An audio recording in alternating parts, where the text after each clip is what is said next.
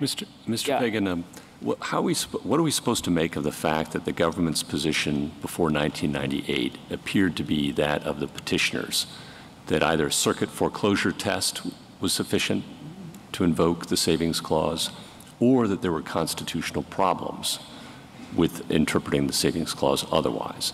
Then from 1998 to 2017, I think, if I've got it right, the government took the opposite view, the view of the amicus, that uh, the circuit foreclosure tests, neither of those tests work, and that the savings clause should be measured about whether it's effective and adequate to raise the argument, that the baseline would be implicit in the text or explicit in the test, text.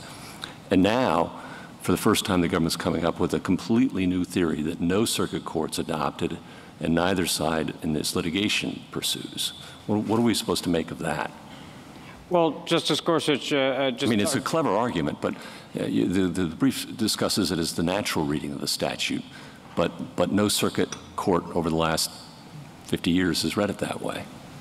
Well, Your Honor, I, I, um, I, I think the you're correct that we've shifted positions. There's a, I think your chronology, uh, in candor, we've shifted around a little bit more. Even more than I described. I've been Yeah, generous. I, I just, okay, ju- to, ju- to be completely Just as I was generous to petitioners uh, uh, about uh, about court martials, and apparently those are not permitted either. But okay. I just want to be completely upfront with the court about that. But uh, it, I think the bottom line, Your Honor, is the way we're interpreting it now is the way that the court actually interpreted it itself in Hayman and Sanders, and I think it's mirrored in Swain against Pressley, which interpreted the analogous DC provision, and in Boumediene, which is that the saving clause essentially makes sure that federal prisoners weren't disadvantaged by the adoption of this new remedy. They weren't substantively disadvantaged or procedurally disadvantaged.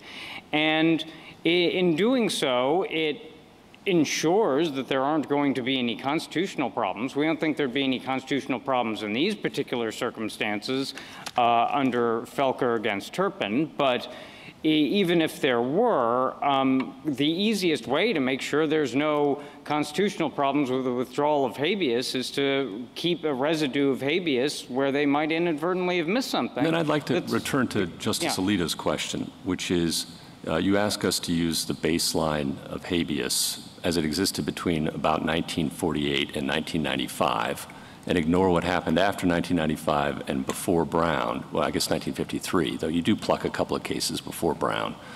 Um, how, it seems a, a, bit of a, um, a bespoke reading of habeas. Uh, It it would be, Your Honor, uh, but let me clarify, that is not actually our reading of habeas. We think that the, uh, you look to the federal habeas remedy now.